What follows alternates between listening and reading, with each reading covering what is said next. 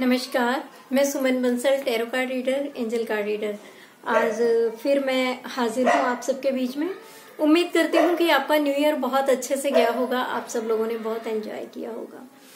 और मैं आपके सुखद भविष्य की कामना करती हूँ। साल 2020 आपके लिए एक बेहतरीन वर्ष साबित हो। इसी के साथ, आज हम राशि चक्र में तीसरा राशिफल लेकर आए हैं, मिथुन राशि। तो देखते हैं कि टैरो क्या कहता है। टैरो के इन पत्तों में मिथुन राशि के लिए क्या राज छुपा है? आज देखते हैं। तो देखिए, सबसे पहले मैं शुरुआत करूँगी मिथुन राशि के जो जातक हैं, उनकी फैमिली लाइफ कैसी रहने वाली है। तो मैं कार्ड पिक करने जा रही हूँ मिथुन राशि के जातकों के लिए। देखिए, जहाँ तक मैं देख पा रही हूँ कि आप आवश्यकता से ज़्यादा अपने ऊपर बर्डन ले रहे हैं और अब वक्त आ गया है कि आप थोड़ा अपने बर्डन को कम कीजिए और अपने आप को आराम दीजिए। और इस समय के लिए आप थोड़ा सा अंतर्मुख हो जाइए, यानी कि मौन हो जाइए अपनी फैमिली की जिम्मेदारियों के प्रति। ज़रूरत से ज़्यादा बोझ लेने की आवश्यकता नहीं है। और पारिवारिक जो आपके फैमिली डिसीज़न है उनमें आप अपने घर के किसी बड़े सदस्य की मदद लीजिए, आप देखेंगे कि सब आपको सपोर्ट कर रहे हैं, ठीक है ना? जब आप थोड़ा मौन होकर बैठ जाएँगे तो सबको अपनी अपनी जिम्मेदारियों का एहसास होगा और वो आपको सपोर्ट करेंगे। और जहाँ तक मैं देख पा रही हूँ एक और कार्ड, कि परिवार में कोई खुशी का माहौल, कोई शादी का माहौल या कोई प्रॉपर्टी बनने की संभावना कुछ ऐसा नज़र आ रहा है साल के कुछ, लगभग आखिरी महीनों में किसी बुज़ुर्ग महिला की नाराज़गी के संकेत मिल रहे हैं। हो सकता है कोई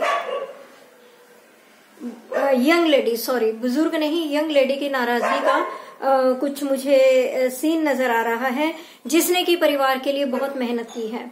हो सकता है कि वो ऐसा महसूस करें कि उन्हें उन, परिवार के लिए की गई मेहनत का कोई रिवार्ड नहीं मिल रहा है। एक बात मैं आपको और ध्यान दिलाना चाहूँगी कि यह कार्ड बोल रहा है कि परिवार की महिलाओं की सुरक्षा पर ध्यान दें। नहीं तो कोई अप्रिय घटना हो सकती है, उनके साथ कोई क्राइम हो सकता है।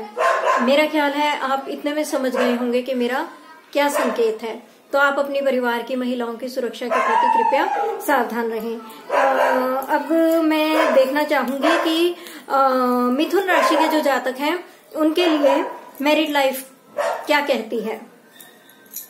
उनकी मैरिड लाइफ के लिए जो मैं कार्ड देख रही हूँ कि वर्षारंभ में हो सकता है कि आप अपने जीवन साथी से कुछ अप्रिय प्रसंग छुपा के रखेंगे। और आप उनसे शुरू से ही कुछ सावधानी रखें नहीं तो गड़बड़ हो सकती है। आ, कुछ मैं देख पा रही हूँ आप दोनों के बीच बेइतबारी की स्थिति रहेगी। अविश्वसनीयता आप दोनों एक दूसरे पर विश्वास नहीं कर पाएँगे लेकिन आपको तालमेल बनाने की ज़रूरत है और सोच समझकर कोई भी फैसला लेने की ज़रूरत है। बैलेंस बनाने की ज़रूरत है। जुलाई के बाद से कुछ आपके रिलेशंस में अपने पार्टनर के साथ आ, कुछ नए चेंजेस आएँगे कुछ अच्छे चेंजेस आएँगे कुछ नए शौक आप में आ, पैदा हो सकते हैं कुछ नए सदस्य आपके लाइफ में आ सकते हैं जो कि आपको एक पॉजिटिव सोच देंगे। कुछ न्यू वेंचर्स पॉसिबल हैं, कुछ न्यू आइडियाज़ और जो कि सक्सेसफुल रहेंगे। और वर्षांत में आपके पार्टनर के साथ आपको कुछ खुशियों का माहौल फील होगा, कुछ खुशनुमा समाचार आपको मिलेंगे और जिन्हें आप अपने साथी के साथ बेहतरीन तरीके से एंजॉय कर पाएँगे। कुछ पुराने रिश्ते भी आपके नए होंगे। और कुछ नए मित्र भी मिलेंगे। यानी कुछ रिश्ते जो समय के अनुसार कहीं पीछे छूट गए थे, उनमें एक नव जीवन संचार होगा। तो आशा करती हूँ कि आपका वैवाहिक जीवन भी अपने साथी के साथ वर्षांत में सही रहेगा।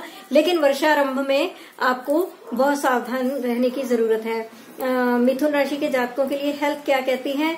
हेल्थ के लिए मैं देख पा रही हूँ कि एक मिला जुला सा यह साल रहेगा। शुरू में हो सकता है कि कुछ आपको कुछ टेंशन और डिप्रेशन हो एल्कोहल और ड्रग्स से दूर रहें।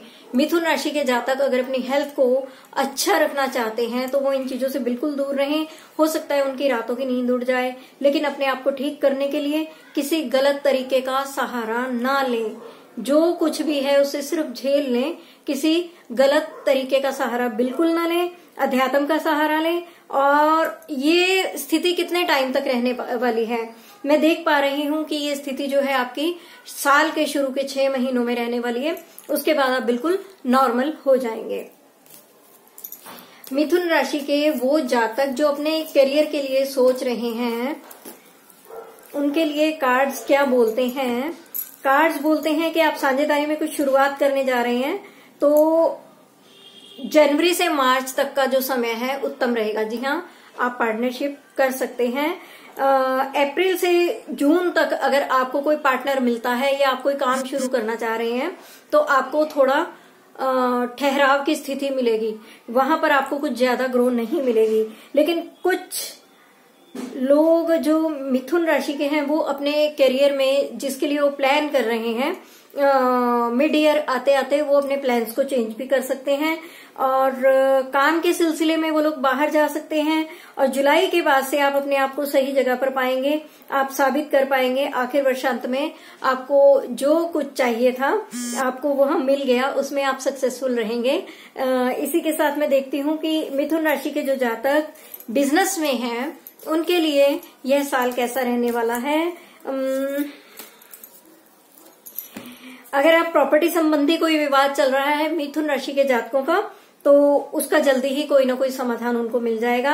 अप्रैल से जून तक अचानक धन लाभ की स्थिति दिखाई दे रही है। कुछ अच्छा लाभ हो सकता है। जुलाई के माह के बाद आपको कुछ विशेष लाभ मिलेगा। और आप एक मज़बूत आधार के साथ अपने आ, किसी भी प्रॉब्लम से निकल पाने में सक्षम होंगे। यानी बिज़नेस के लिए भी ओवरऑल कार्ड अच्छे आ रहे हैं और इन्वेस्टमेंट बहुत इम्पोर्टेंट होता है। इन्वेस्टमेंट अगर हम अपने स्टार्स को देखकर इन्वेस्टमेंट ना करें तो कभी कभी हम इतना बुरे तरीके से फंस जाते हैं कि उससे निकलना भी बड़ा मुश्किल लगता है। इन्वेस्टमेंट जी हाँ यहाँ पर कार्ड बोल रहा है कि समझदारी के साथ, सोच समझकर आप इन्वेस्टमेंट करिए तो आपको लाभ होगा। बिना सोचे समझे, बिना आकलन किए चीज़ों का आप इन्वेस्टमेंट बिल्कुल मत कीजिए। नए निवेश के लिए, अगर आप नए निवेश कर रहे हैं तो उसके लिए जुलाई से अगस्त तक का टाइम जो है काफ़ी अच्छा जाने वाला है। अक्टूबर से दिसंबर में आप जो भी इन्वेस्टमेंट करेंगे, वह सोच समझ कर करें, नहीं तो आप हानि भी देख सकते हैं। सॉरी अब मैं देखना चाहूँगी कि मिथुन राशि के जो जातक हैं जो लव लाइफ में है किसी रिलेशनशिप में है उनकी रोमांटिक लाइफ कैसी रहने वाली है संबंध में देख पा रही हूँ कि आपके अच्छे ही रहेंगे। आप अपने पार्टनर के लिए बहुत अट्रैक्शन फील करेंगे। आ, कभी आप अपने पार्टनर को लेकर बेहद इमोशनल फील करेंगे और कभी कभी आप बीच में बहुत पैशनेट फील करेंगे। आप अपने पार्टनर को लेकर भावुक भी हो जाएँगे और कुछ विषयों पर आपके वैचारिक मतभेद भी अपने पार्टनर के साथ हो सकते हैं। और ऐसा होते होते मिड ईयर आते आते हो सकता है कि आप अपना सारा गुस्सा, अपना सारा आक्रोश अपने पार्टनर पर डाल दें, आप फूट पड़े, लेकिन यहाँ पर गलती आपकी होगी, लेकिन संभालेंगे आपके पार्टनर वो सब संभाल लेंगे तो कुल मिलाकर लव लाइफ भी आपकी ठीक ठीक जाने वाली है। कोई चिंता की बात नहीं है। एजुकेशन जो बच्चे पढ़ रहे हैं, उनके लिए टैरो क्या कहते हैं? तो मिथुन राशि के जो बच्चे हैं उनका देखते हैं। एजुकेशन के लिए उनका कार्ड बोल रहा है कि यदि आप अपने लिए निष्ठावान रहे, जो आपने सोचा है, आप उस विषय पर मेहनत करते रहे, डटे रहे तो आप वो कर जाएँगे जो आपने सोचा है।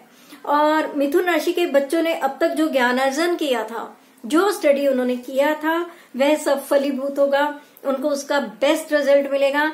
एमबीए के student quality control O H S C A networking software और ट्रांसपोर्ट फ़ील्ड में जो है उनको बहुत अच्छी सफलता मिलने वाली है। विदेश में अगर स्टडी करना चाहते हैं तो जुलाई से सितंबर तक का इनका योग बन रहा है। Law and order health and fitness इन सबको सक्सेस मिलेगी जो इस फ़ील्ड में है। आ, लेकिन मैं आपको सब बच्चों को एक राय ज़रूर देना चाहूँगी कि एक बार आप सब कुछ ध्यान से रिवाइज करें पूरा दम लगाएँ और फिर रिज़ल्ट देखें। बहुत बढ़िया रिज़ल्ट मिलेगा आपको। स्पिरिचुअलिटी जो अध्यात्म में है इस वर्ष आगे बढ़ना चाह रहे हैं उनके लिए यह वर्ष कैसा रहेगा?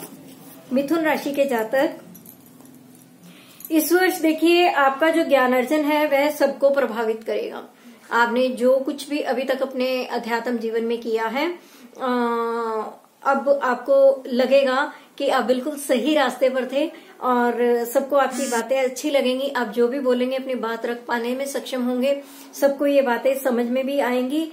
और आपके पास क्या है, आप यह भी देख पाएँगे कि आपके पास क्या है और दूसरों के पास क्या नहीं है। इस अंतर को आप समझ पाएँगे। और जो नहीं है, जो औरों के पास नहीं है, लेकिन वो स्पेशल जो आपके पास है उसे आप प्रस्तुत करने में सोसाइटी के सामने बिल्कुल सक्षम होंगे। आप अपने विचारों को एक दृढ़ रूप देने के लिए एक मूर्त रूप देने के लिए आप लाइब्रेरीज का सहारा लीजिए आप सोशल मीडिया पर सर्च कीजिए सोशल मीडिया की मदद लीजिए आप जितना ज़्यादा पढ़ेंगे जितना ज़्यादा इन चीज़ों को आप टिटोलेंगे जितना इनमें गहरा जाना चाहेंगे आप आ, उतना जा पाएँगे, आपको वो चीज़ें भी समझ में आएँगी और इससे आप धन अर्जन भी अच्छा करेंगे। यानी आप कुछ सीख कर और उसमें प्रैक्टिस करना चाहते हैं, उसमें आप प्रोफेशनली जाना चाहते हैं तो आप ये कर पाएँगे। तो ये साल मिथुन राशि के जातकों के लिए बहुत अच्छा रहेगा। मुझे नहीं लगता कि कोई विशेष प्रॉब्लम है। तो उपाय भी मैं बताना ज़रूरी नहीं समझती। फिर भी अगर आप अध्यात्म में आगे जाना चाहते हैं या और छोटी मोटी जो मैंने समस्या देखी है तो उसके हिसाब से मैं आपको केवल एमेथिस्ट क्रिस्टल वियर करने को बोलूँगी। तो क्रिस्टल ऑफ़ द वियर आप लोगों के लिए क्रिस्टल ऑफ़ द ईयर आप लोगों के लिए है एमेथिस्ट इसी के साथ मैं विदा लेती हूँ। नमस्कार। लेकिन आप सब लोगों से मेरा एक अनुरोध है कि अगर आपको मेरे वीडियोस अच्छे लगते हैं प्लीज़ लाइक शेयर और सब्सक्राइब कीजिए। अच्छे अच्छे कमेंट दीजिए इससे हम लोगों का हौसला बढ़ता है और और भी कुछ बहुत अच्छी अच्छी चीज़ें लाने को मन करता है। धन्यवाद।